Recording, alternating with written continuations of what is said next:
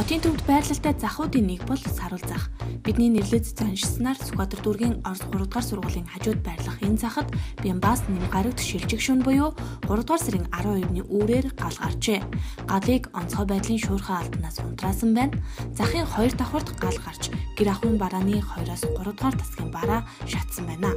Тодорхойлбол бичих хэрэг, гэр ахуй, даавн хэрэглэл, хүнжил гэх мэт байдаг тасагт гал гарчээ. Өнгөрсөн нэм гарагт Монголын бурхан шашинтны төв гандан нэгчлэн хийдэд үлгэрийн далай хэмээх нэрт шаштрын нээлт боллоо. Энэхүү шаштар нь хүүхдэд зориулагдаж зургийн хэлбэрээр бүтээгдсэн байна. Өнгөрсөн Баасан гарагт Өмнө Говь аймгийн нутаг дэвсгэрт нүүрсний тээвэрлэлтэд явдаг жолооч нар амиа алдсан харамсалтай хэрэг гарчээ.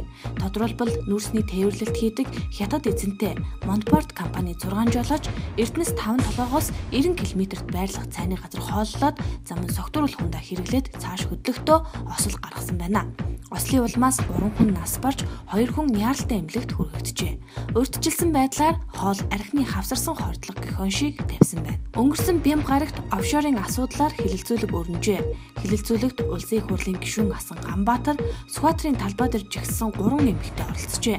Тэд Санжийн баярыг элчин сайдаас эргүүлэн татуулах шаардлагыг Монгол улсын ерөнхийлөгч захиагийн элбэг доржид хүргүүлэхээр болсон байна. Нийслэлийн Баян зүрх дүүргийг хуучин засаг дарга Пүрэв даваа удирдах байна. Хотын дарга Батболт энэ сарын 2-ны өдөр Баян зүрх дүүргийн засаг даргаар Батамглан батламжилсны дараа тус дүүргийн иргэдийн хуралдах ардчилсан намын бүлгийн гишүүд эсэргүүцэж энэ сарын 3-ны өдөр нийслэлийн захиргааны хэргийн анхан шатны шүүхэд хандхад 3 дугаар сарын 6-нд хуралдаж хотын даргын шийдвэрийг төтгөлзүүлсэн билээ.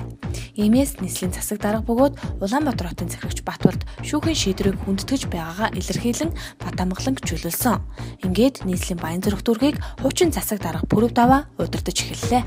Нийслэлийн татварын газар замын цагдаагийн албанаас өнгөрсөн бямгарагт мэдээлэл хийлээ. Энэ үеэр заасан хугацаанд татвараа төлөөгүй тээврийн хэрэгслийг замын хөдөлгөөнд оролцуулахгүй байхаар болсон тухай дуулгасан юм. Хуульд зааснаар 1 болон 6-аар төгссөн улсын дугаартай тээврийн хэрэгсэл 1-р сард, 2 болон 7-оор төгссөн улсын дугаартай тээврийн хэрэгсэл 2-р сард багтаан албан татвараа төлөх ёстой.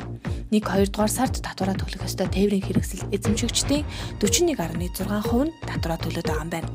Замын цагдаагийн газраас мэдэгдэж байгаагаар энэ сараас эхлэн татвараа төлсөн эсхийг шалгана. Замын цагдаагийн албаагчид тээврийн хэрэгслийг зогсоож шалгаад татвараа төлсөн бол хөдөлгөөнд оролцуулна.